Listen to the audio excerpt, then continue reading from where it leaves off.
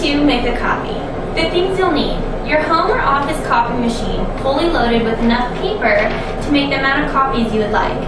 Next, all you need is your document you're trying to make a copy of. Go to the home screen of the copy machine and you'll notice different categories, such as color, paper size, quantity, zoom, and single or duplex.